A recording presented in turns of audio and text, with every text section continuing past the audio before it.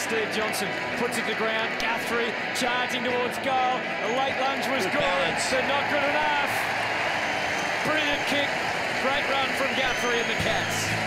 He's a beauty, Cam. He's a he's a great um, teammate to, to firstly um, play with, but also to train with. He's um, he wants to learn and he wants to get better, and um, those guys are, you know, are fantastic. And to see his game develop, and um, you know, he, he's become you know a really vital cog for us. We we know what he can do, but down in, in the back line now, he, he's a trusted player down there, and you know, you, you can sort of. I'm pretty sure the coaches have just put him in and he'll do his job and, and, and come out on top uh, more weeks than not. So that's a fantastic quality to have. And to see him develop his game, I think he'll spend a bit more time in the midfield this year and take his game to another level. No love lost between those no. two out in the ground. They'll get stuck into it like the backyard. no quarter given, no quarter asked for, and again coming out of the centre is Guthrie. You know, he's improved in his fitness and um, he can he doesn't get beaten too often in one-on-one contests, and he and he doesn't like um, losing. So those qualities are, are, pretty good to have, and he's going to have a, a, really good career in front of him. Out of the middle, Guthrie. Simpson waited for the traffic. Guthrie kept on coming, and he drills the pass to Bartel.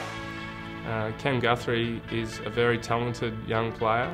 Uh, he just works very hard at his game, and I think you know if he keeps um, dedicating himself to footy like he has for his first two or three years, then um, Geelong's going to have a very handy halfback for the next 10, 12 years who could potentially move into the midfield and do a bit of damage in there.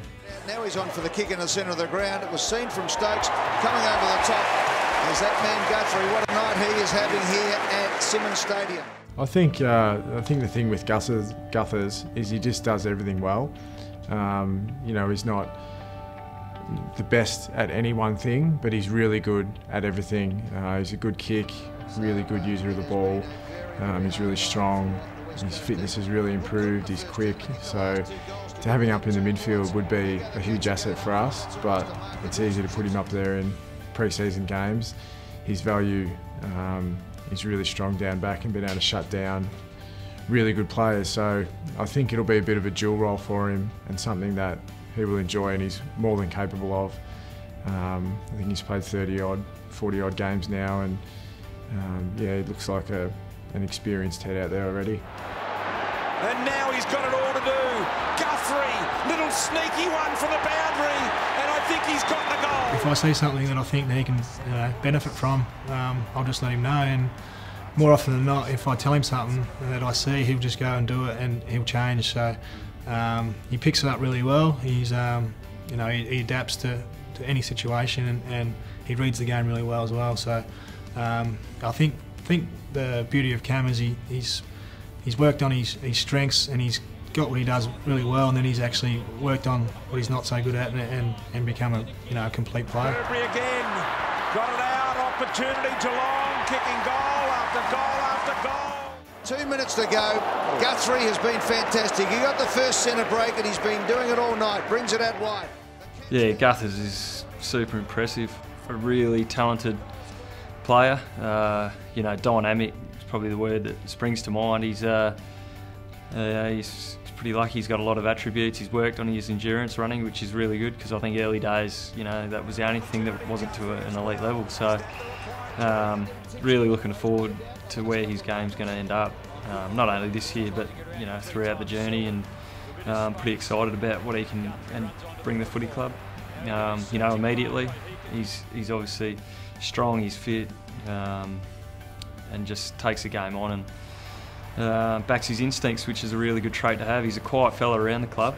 Dennis was on Chapman, wasn't yeah, it? just too... Very um, thoughtful about other players and um, always polite um, respectful.